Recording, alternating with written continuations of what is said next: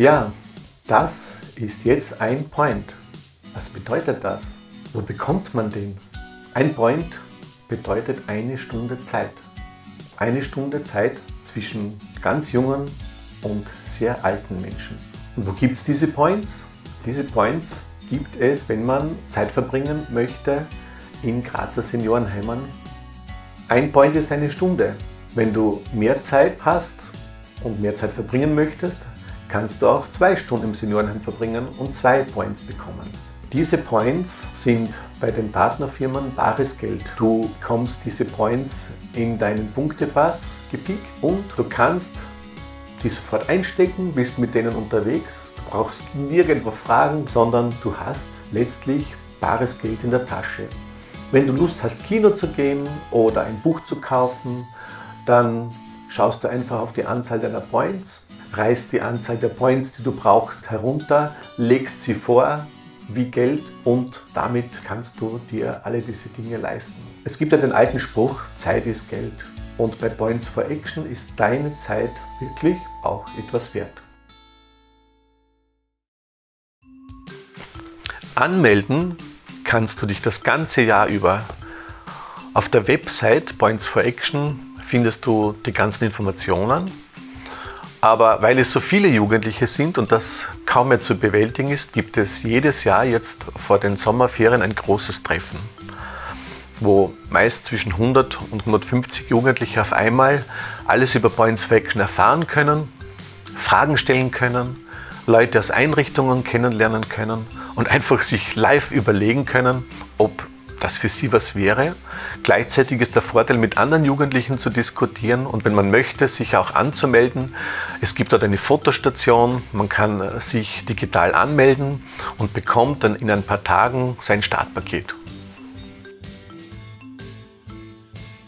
Bei Points for Action bist du völlig frei. Du kannst dich melden, wenn du Lust hast. Du bekommst ein Startpaket mit einem Ausweis, einem Infopass und Punktepässen. Es ist ja nicht so, dass man mit alten Menschen oder älteren Menschen keinen Spaß haben kann. Es ist ja noch immer sehr viel möglich und sehr viel. Also. Ähm, ich freue mich darauf, wieder Leute, neue Leute kennenzulernen und neue Bekanntschaften zu knüpfen.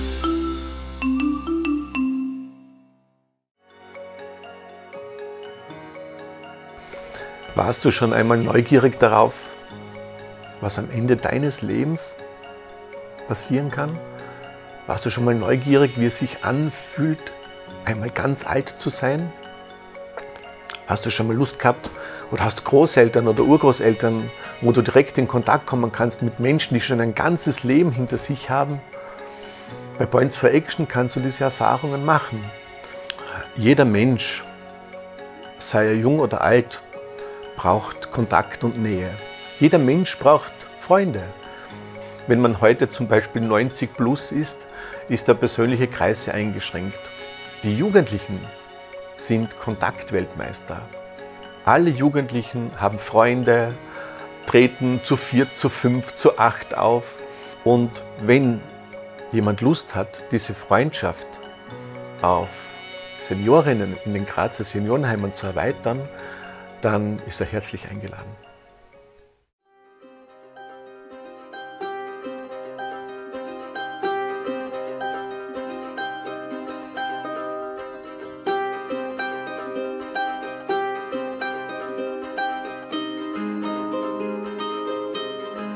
Sinnresidenz ist ja von Beginn an ein Partner von Points for Action.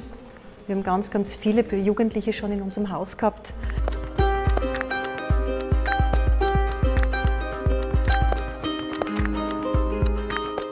Der Mehrwert von Jugendlichen im Haus ist ein ganz wichtiger und großer.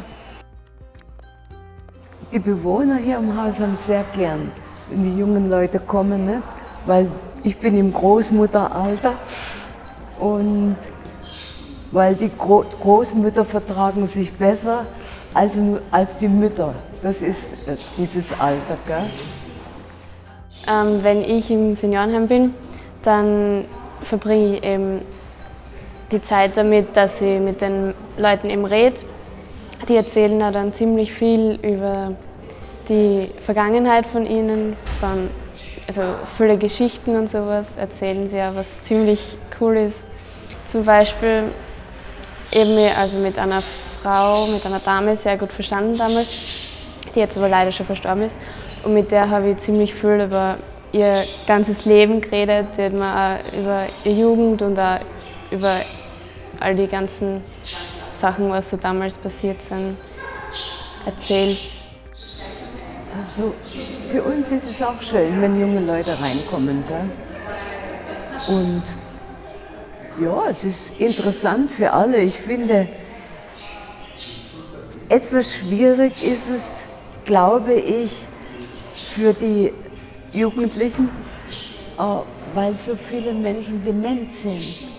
Und das ist manchmal ganz schwer, das einzusehen oder zu verstehen. Zu verstehen ist es sowieso nicht.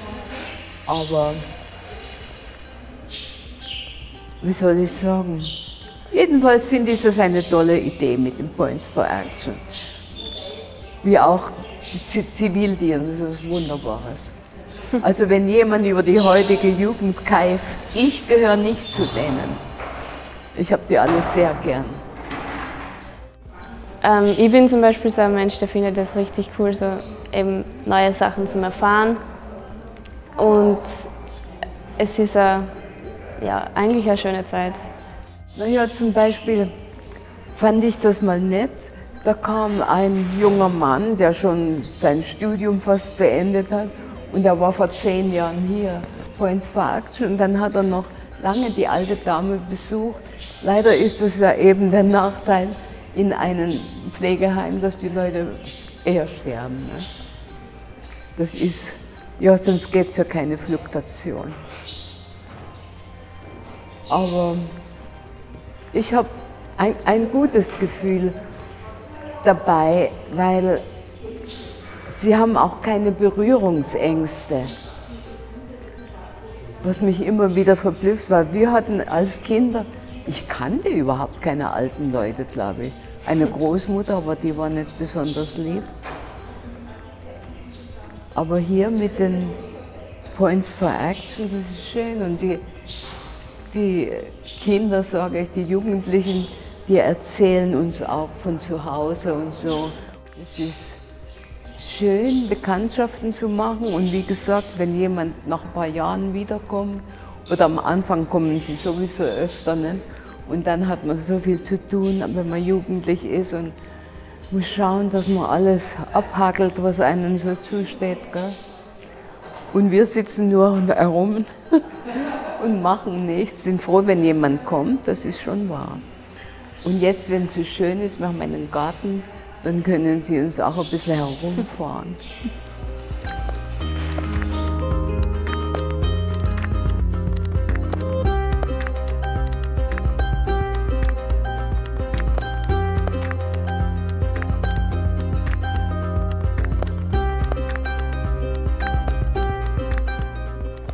Natur ist einfach auch ganz wichtig, alle Jahreszeiten miterleben zu können in der Natur, alle, alle, Sinne, alle Sinne zu aktivieren.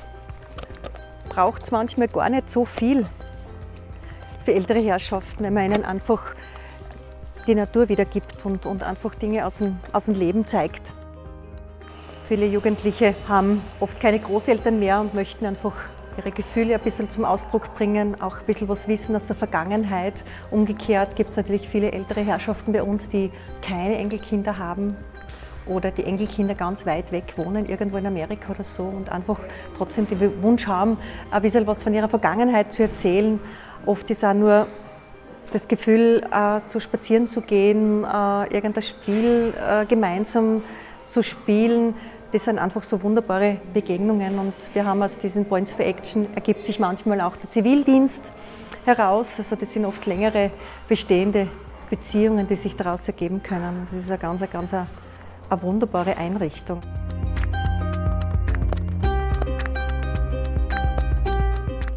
Tiere sind ein ganz wichtiger Punkt in unserem Haus. Hunde, Vogeln, Meerschweinchen, Katzen waren schon da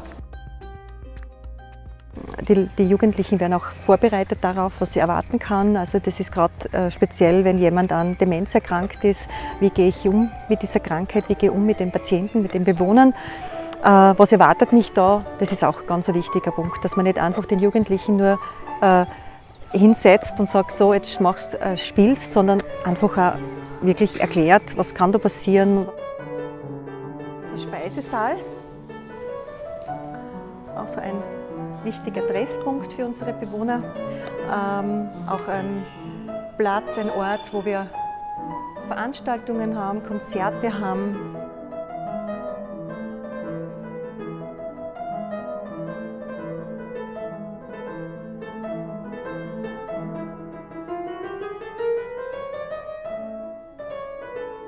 Also ich denke mal, zehn Jahre, dass so ein Projekt zehn Jahre besteht, spricht ja schon für sich.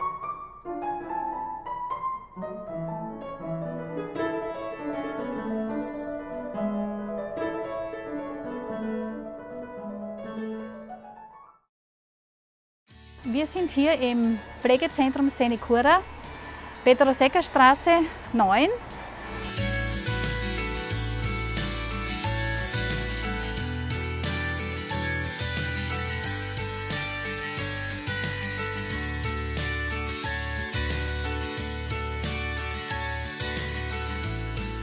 Es gibt drei Aufenthaltsbereiche in diesem Haus und es gibt einen sehr netten Innenhof und einen Garten. Im Rahmen der Animation machen wir auch immer wieder Tischdekorationen und ich habe heute Jasmin mitgebracht, die wunderschöne Sommerblüte ins Haus gebracht und die Points for Action Jugendlichen haben da mitgeholfen. Wir haben Tischdekorationen gemacht, das wird dann im ganzen Haus verteilt und die Leute freuen sich, wenn sie auch etwas in die Zimmer bekommen. Äh, der Vorteil ist, dass einfach junge Leute ins Haus kommen.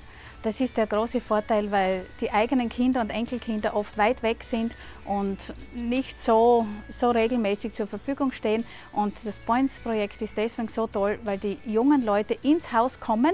Und für die jungen Leute ist es, glaube ich, so eine kleine Hemmschwelle, die sie da überschreiten, wenn sie da hergehen und einmal äh, so viel alte Menschen hier sehen, aber sie, sie finden eigentlich schnell Vertrauen zueinander und die alten Leute sind sehr aufgeschlossen und sehr dankbar. Das ist wirklich wunderbar. Das war das Deutschprojekt, das hier gestartet wurde in dem Haus in, in, Zusammenarbeit mit zwei ehrenamtlichen Mitarbeiterinnen, eine Deutschprofessorin und eine äh, Frau Doktor. Und das ist wöchentlich, zweimal hat es stattgefunden hier im Haus. Die Burschen sind gekommen, haben Deutschunterricht bekommen und haben dann als Points for Action Jugendliche hier im Haus mitgeholfen.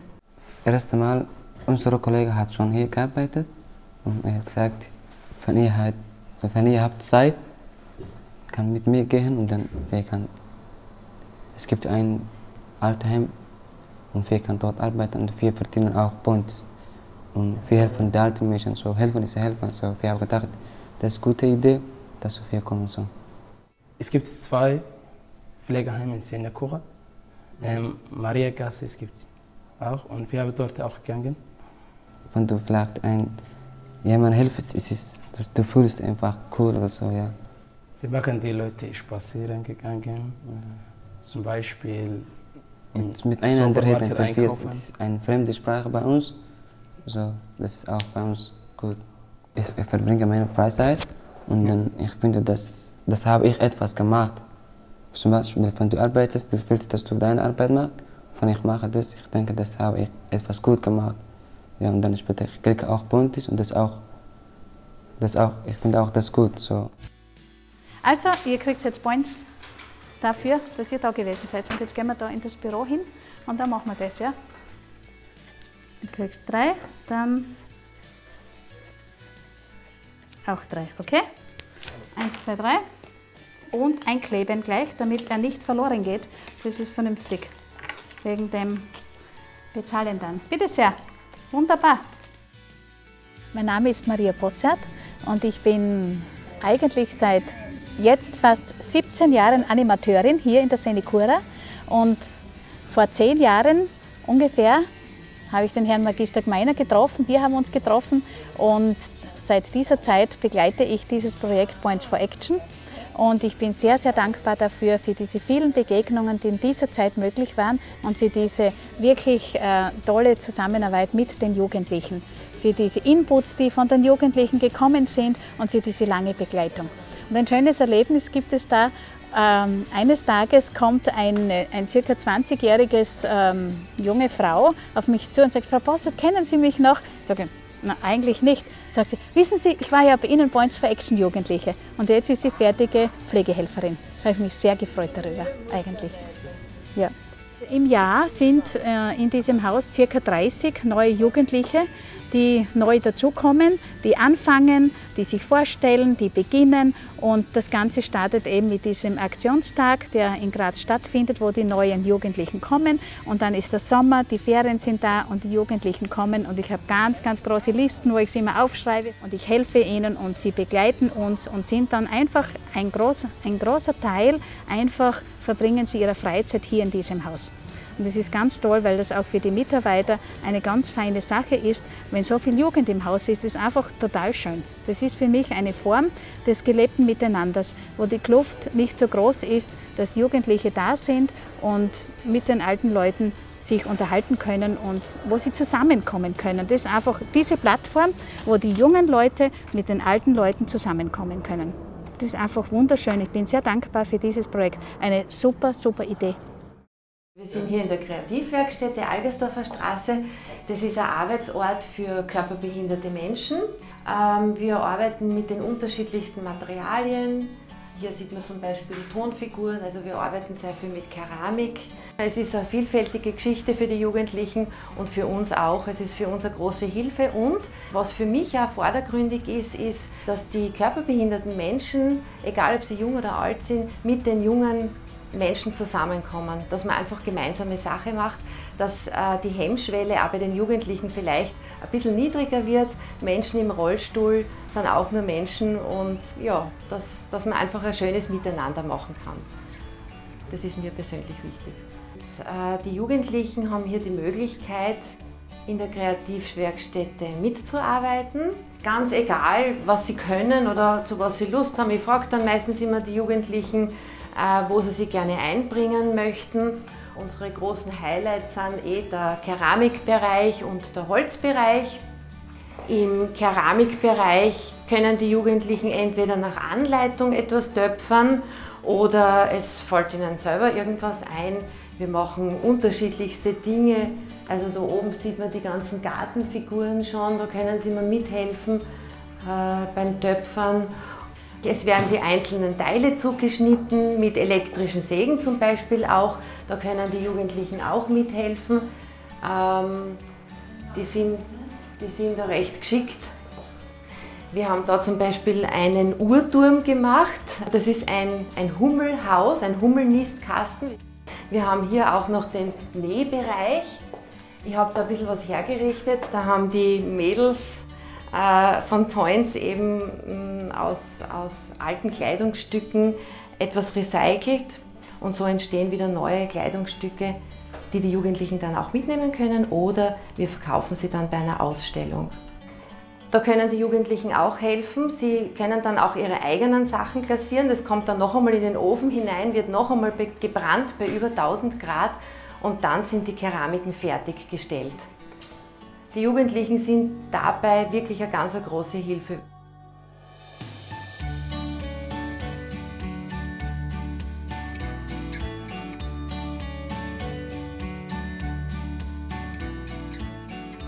Zwar habe ich nicht wirklich äh, meine Points bei anderen Sachen eingelöst und habe mir gedacht, es wäre irgendwie voll cool, wenn ich mir etwas damit kaufen kann, was mich wirklich weiterbringt, was mich wirklich glücklich macht.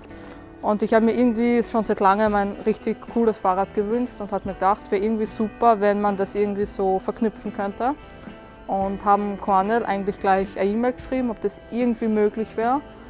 Und das war super von RMR, ist gleich auf mich eingegangen. Ein Drittel des Wertes habe ich mit den Punkten bezahlt, die anderen zwei Drittel also mit Geld. Waren die ersten paar Treffen etwas schwieriger. Ähm, es gibt Leute, die etwas die Zeit brauchen, bis sie sich öffnen. Aber das ist einfach von Menschen zu Menschen anders und man sollte nicht aufgeben, man sollte es weiter versuchen Und ähm, man sollte sich einfach Zeit lassen und aber auch das gern machen, also nicht gezwungenermaßen das machen, weil das bringt sich dann meistens nichts. Ähm, also ich konnte wirklich sehr, sehr viel mitnehmen, vor allem was ähm, das Gefühl für Menschen einfach und auch für ältere Menschen. Und das hat mich schon ziemlich geprägt. Ähm, man hat ja doch als Jugendlicher Vorurteile den Älteren gegenüber. Und ähm, dann war das einfach sozusagen weg, diese Vorurteile. Man hat den älteren Menschen dann auf der Straße ganz anders gesehen. Man hat auch, also ich habe im Altersheim auch verschiedene Geschichten gehört von älteren Menschen, was sie alle so durchgestanden haben. Und das prägt dann schon irgendwie fürs weitere Leben, ähm, einfach umzudenken, wenn man so jemanden sieht.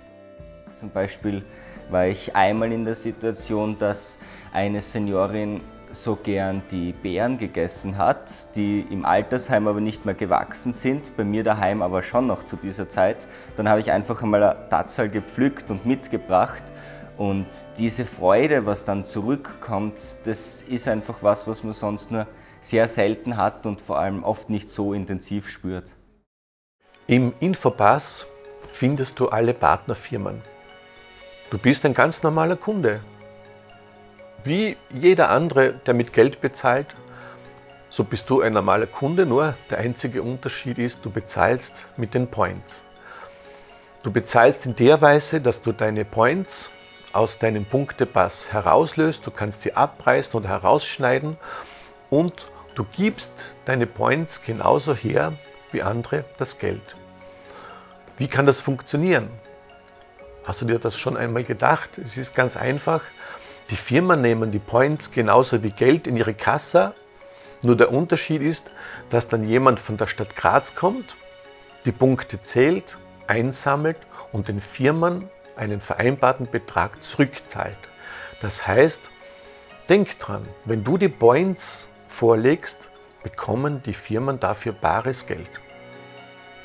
Ein Jugendlicher hat mir vor Jahren einmal geschrieben, das war glaube ich schon im zweiten Jahr von Points for Action, ein E-Mail. Da hat er geschrieben, ja, Herr Gmeiner, das ist eine gute Idee, aber warum führen Sie es nicht weltweit ein? Ja, Points for Action ist eine Erfolgsgeschichte und so wie ich hier sitze, kann ich das mit ruhigem Gewissen sagen. Äh, Points for Action startete vor zehn Jahren mit knapp 100 Jugendlichen. Mittlerweile muss man sagen, sind es knapp 2000 Jugendliche, die an die 40.000 Stunden in den Einrichtungen der Grazer äh, Altenversorgung und Pflege verbracht haben und äh, besitzt dadurch das Recht, sich auch als Zeitmaschine zwischen Jung und Alt zu definieren. Points for Action als Erfolgsmodell, als Zeitmaschine zwischen Jung und Alt wird so lange weitergehen, solange Jung und Alt daran Spaß haben, sich erfreuen und auch das im Herzen, im Herzen diese Idee von Points for Action weitertragen. Und man kann sagen, von Generation zu Generation und auch von Jugendgeneration zu Jugendgeneration.